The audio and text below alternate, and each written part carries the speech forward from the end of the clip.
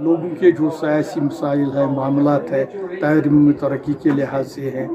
और लोग आप देख रहे हैं कि किस हालत में इस वक्त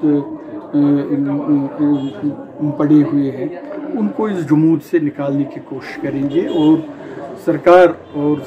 दिल्ली वालों को ये बावर करने की ज़रूरत है कि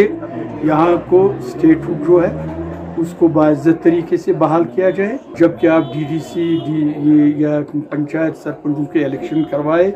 उसके साथ ज़रूरी है कि आप असम्बली के इलेक्शन होने चाहिए ताकि लोग जिस एलिनेशन में और जिस महकमे से और जमूद में पड़े हुए, उस वाद रास्ता है, उनके जो मामला है, उसको एड्रेस करने के लिए, सियासी लिहाज से, सियासी एतबारियत से यहाँ के इलेक्शन का इनका बहुत और जो बड़े बड़े दावे किए जाते हैं कागज़ी लोगों की तौर तो हम सरकार से ये मुतालबा करना चाहते हैं कि कौन से तरह की इन दो बरसों में हुई उसका एक वाइट पेपर शाया किया जाए, ताकि लोगों को पता चले कि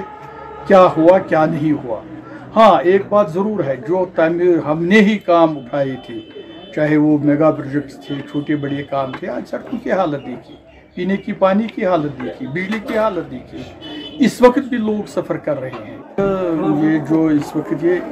गवर्नर राज या लेफ्टिनेंट गवर्नर साहब का कितना भी जितने भी हुकूमत अच्छी हो